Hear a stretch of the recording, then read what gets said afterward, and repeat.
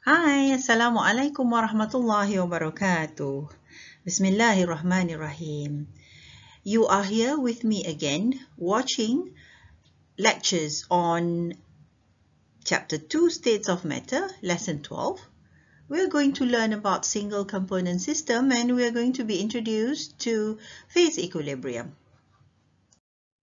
Firstly, we are going to define phase and component and we also have to define triple point and critical point in the phase diagram.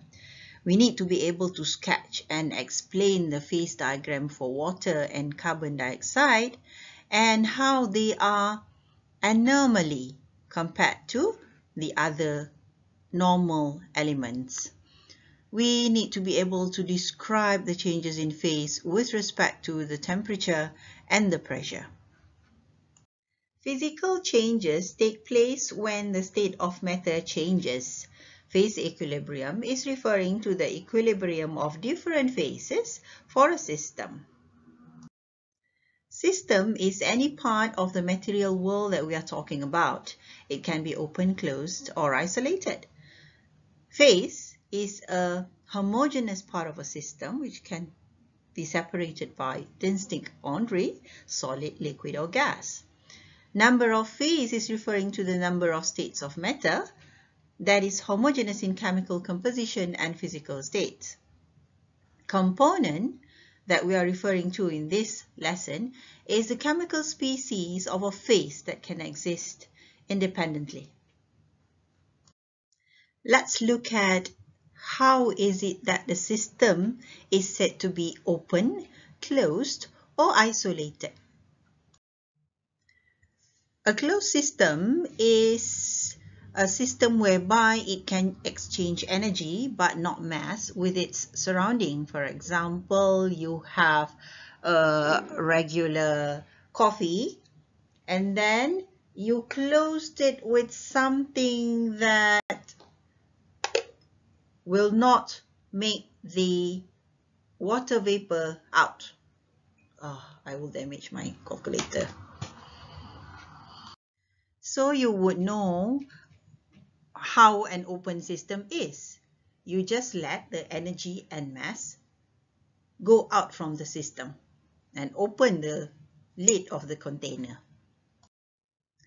But for isolated system, there you have the regular coffee cup with a padded polystyrene material Ah, the isolated system can exchange neither mass nor energy with its surrounding.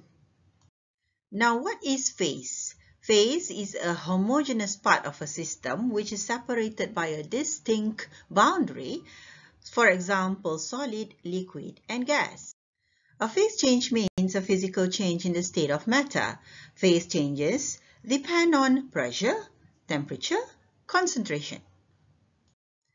In summary, the changes of the states of matter can be interpreted in this diagram where you have melting, freezing, boiling, condensing, sublimation and deposition.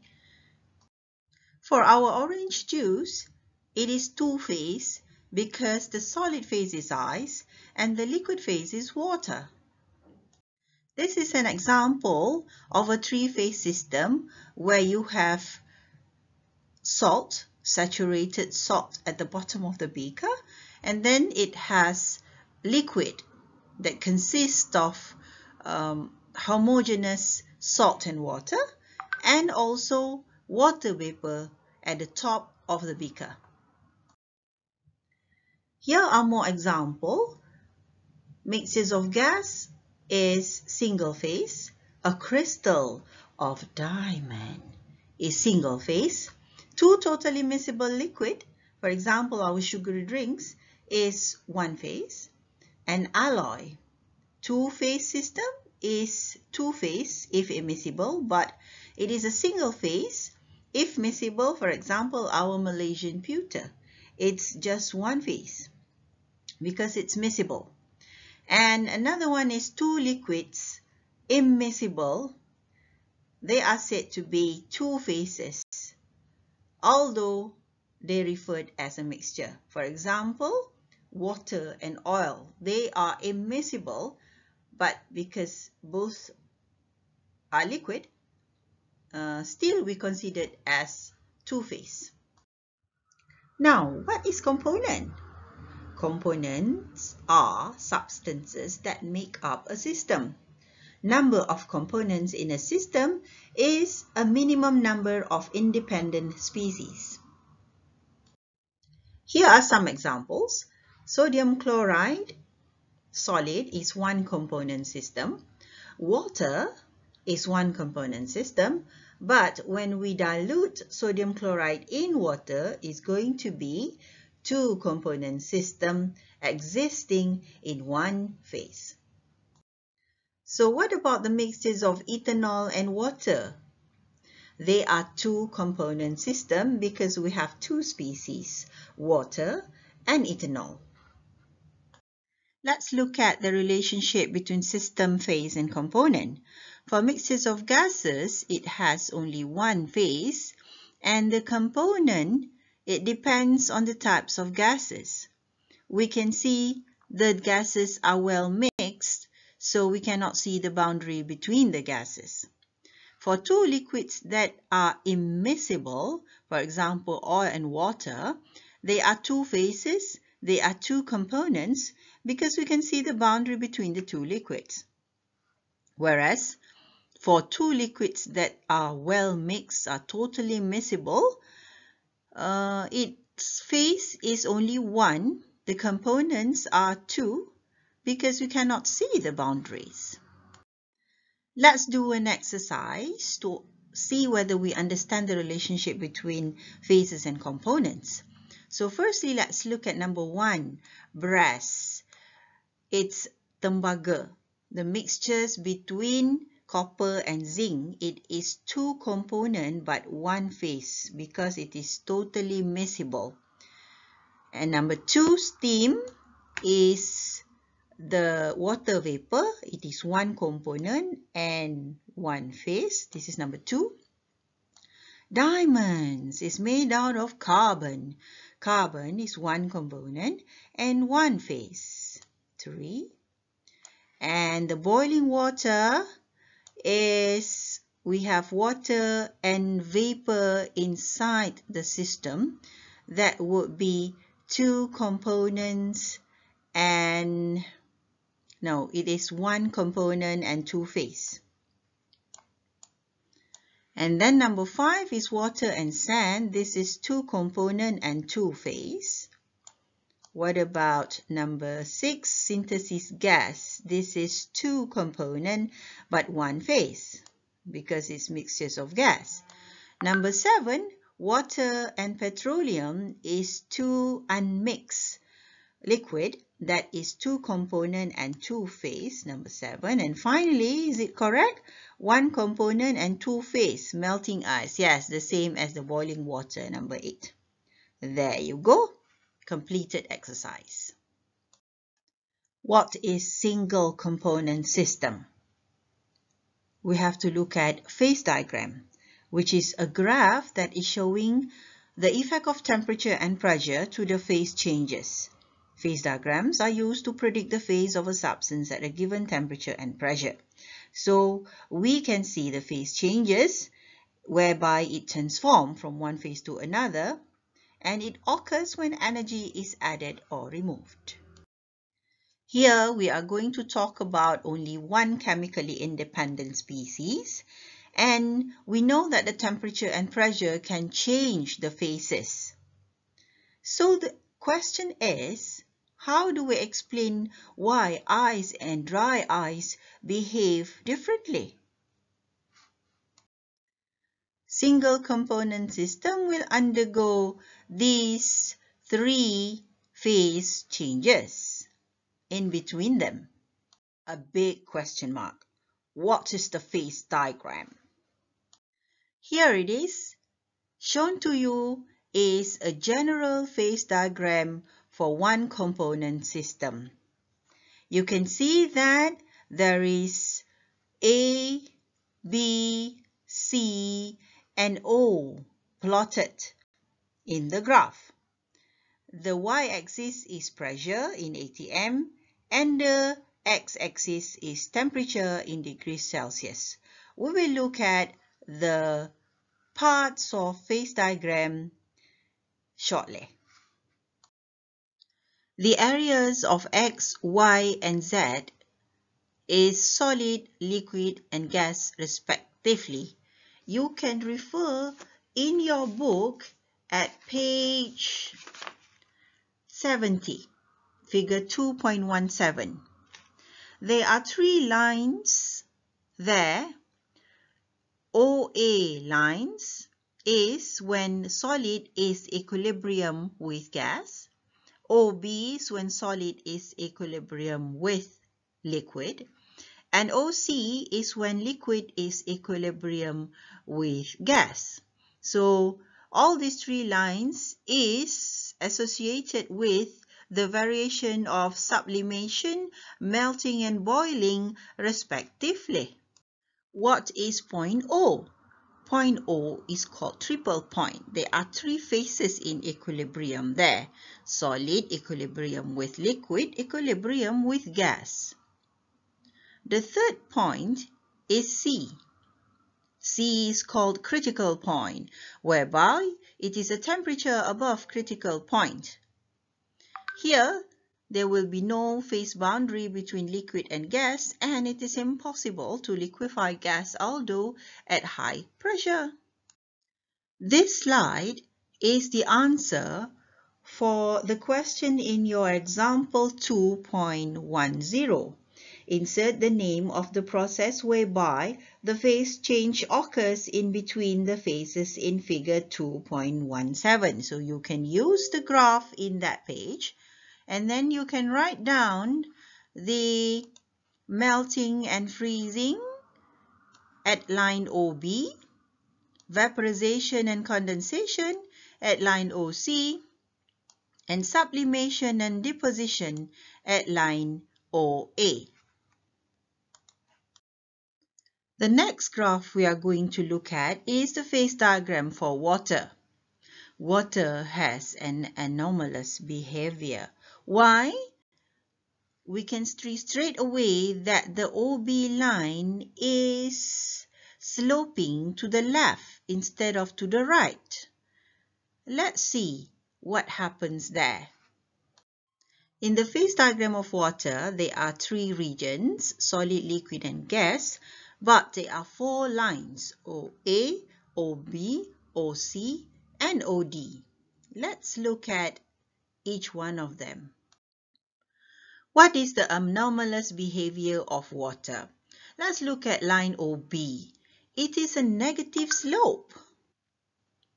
We can see there that the melting temperature decreases with pressure. So the higher the pressure, the lower the melting point of the ice. Most solids are denser than their liquids, but special for ice only, ice is less dense than water it will be floating like in our drinks, cold drinks. So it shows there that the volume of water is less than the volume of ice.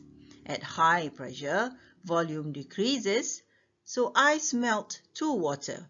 Here, solid changes to liquid. For line OC, it is normal for water. Point O for the phase diagram of water is 0.01 degrees Celsius at 0.006 atm. It's very specific there. And point C, the critical point is 374 degrees Celsius at 218 atm. There's another line OD. It's a metastable state where the stability of water still exists below freezing point. Now, we want to look at the phase diagram of carbon dioxide. Why does carbon dioxide sublimes from gas directly to solid? Because the O point is very high, 5.2 atm. And the pressure of atmospheric is 1 atm. So carbon dioxide will cross the phase diagram here. In the phase diagram of carbon dioxide, there are also three regions, solid, liquid, and gas. And there are three lines, OA, OB, and OC. Line OB for carbon dioxide is normal. It represents the variation of melting temperature sloping to the right. Therefore, the solid carbon dioxide is denser than the liquid of carbon dioxide. Line OC represents the variation of boiling temperature with pressure. But if we look at the points O and C, the pressure are very high. Point O is negative 57 degrees Celsius and 5.2 atms, whereas the normal atmospheric pressure is just 1. That's why carbon dioxide will transform from solid to gas immediately without going through liquid phase. The critical point is 31 degrees Celsius and 73 atm. It's very high. In conclusion, the phase diagram of carbon dioxide is typical, showing a rightward sloping positive slope of melting line. Solid carbon dioxide is denser than liquid carbon dioxide, but the triple point is having a very high pressure, 5.2 atm. So at 1 atm, carbon dioxide sublimes and dry ice will change directly from solid to gas. Let's do example 2.11 where we want to find the phase changes for A until G. The easiest way for us to answer this question is label the areas of phase in your phase diagram. So down here is the area for gas. Here is solid and this part small here is liquid. So A will be transformed from gas to solid. B from solid it becomes C liquid.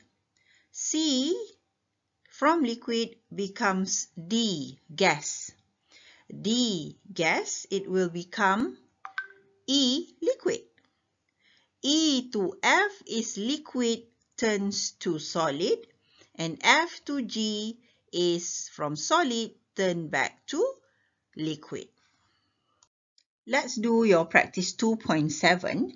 Analyze the phase diagram for carbon dioxide and answer in what phase carbon dioxide should exist at. You can use figure 2.19 in the previous page. So let's look at the first one. Negative 60 degrees Celsius is around here and 6 atm is around here. So it will be in the form of solid. Negative 60 degrees Celsius at 2 atm. 2 atm is around here. So here it is gas. Negative 45 is here. And 10 is over here. So it is liquid. Negative 57 is here. 5.2 atm is here. So our answer is solid, equilibrium to liquid, equilibrium with gas. There are three phases in the point D here. Okay? Alhamdulillahi Rabbil Alameen. We have finished chapter 2. So we hope you would be able to understand lesson 10, 11, 12 and 13 as we are going to cover it all in week 6. Inshallah. Assalamu alaikum warahmatullahi wabarakatuh. See you soon, my dear students.